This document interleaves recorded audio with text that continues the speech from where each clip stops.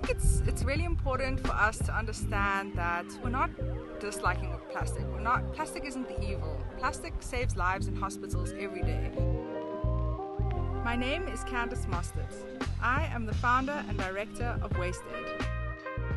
Neighborhood Farms is one of the many projects that we partner with in South Africa to build beautiful structures at locations like this that can benefit the community. Neighborhood Farms provide organic food for the local community here in Fish Hoek but also at a variety of other locations and we built a bench here to give them benches which they didn't have beforehand.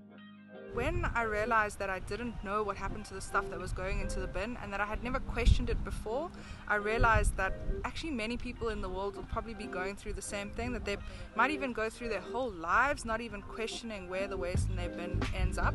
Waste-ED very much became about non-recyclables, starting to educate people about the fact that a lot of these materials that we're coming into contact with were actually not recyclable and that they were ending up in places like the landfill or our oceans or our rivers.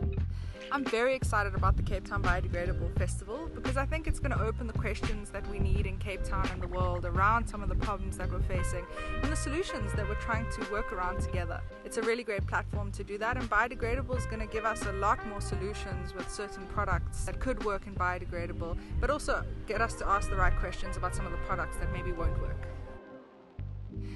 You know, the more that I work with EcoBricks, actually, the more that I start realizing that maybe the biggest impactful thing that we can do as individuals is actually start composting our food because food actually makes up 60% of the municipal solid waste that we produce as individuals, as businesses. Separating that food waste is actually the first best thing we can do for our plastic waste because dirty waste doesn't get recycled.